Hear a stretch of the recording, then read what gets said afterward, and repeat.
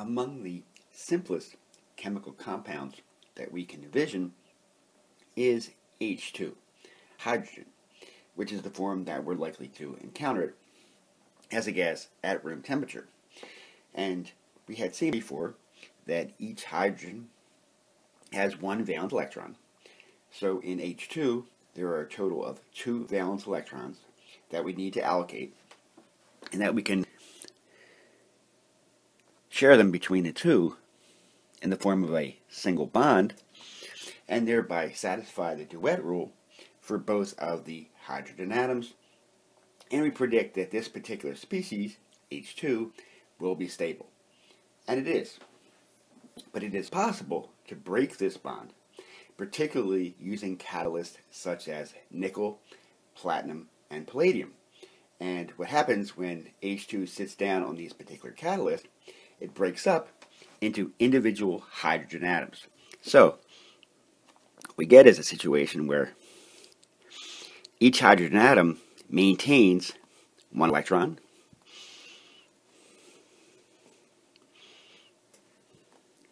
like this. So we have individual hydrogen atoms. And we notice that in each case, the duet rule is not satisfied. So we predict that these individual species as hydrogen atoms is not going to be stable. And in fact, since they have an odd number of electrons, they are technically free radicals and are incredibly reactive. And in fact, this is the intermediate that is generally involved in many reduction reactions or hydrogenation reactions. Oxygen atoms have six valence electrons. In a number of ionic compounds, the oxide ion forms O2 minus. So to account for this particular ion, we take the six valence electrons. We notice that it has a minus 2 charge, so we need to add two additional electrons. So that gives us a total of eight electrons that we allocate around the oxide ion. As such,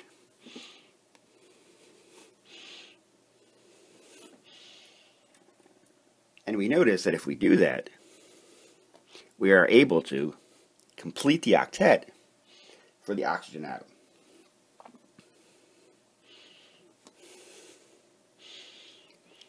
So here we have a Lewis dot model of oxide. Based on that model and based on that theory, we would predict that oxide ion would be stable. And it turns out that in ionic compounds, it is stable. Nitrogen atoms each possess five valence electrons. In reactions with the very electropositive metals, such as magnesium, the nitride ion can form N3 minus.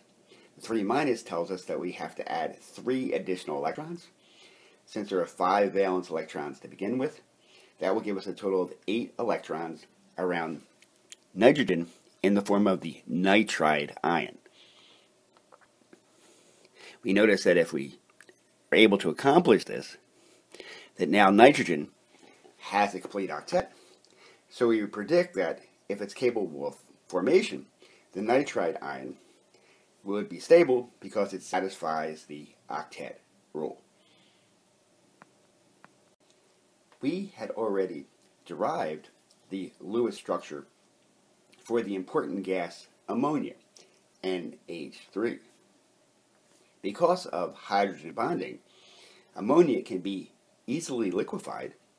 If you go a little bit below zero, you can actually turn ammonia gas into a liquid. This uh, ease of liquefaction led to ammonia being one of the very first materials used as a refrigerant. Not only that, liquid ammonia is an interesting solvent that has properties that are akin to but distinct from water. And in particular, one interesting chemical species that can be created in liquid ammonia we create by uh, dissolving sodium metal. You're probably familiar that if you put sodium metal into water, you get a violent explosion. If you do the same into liquid ammonia, you still get a reaction, but the effect is to remove one of the hydrogens as H+. plus. So what we get is the following species, which we call the amide ion.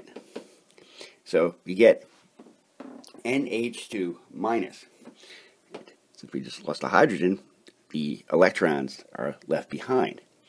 Now, if we did not know that that was how amide ion was created, but we just wanted to create the Lewis structure for NH2 minus, we would reason as follows.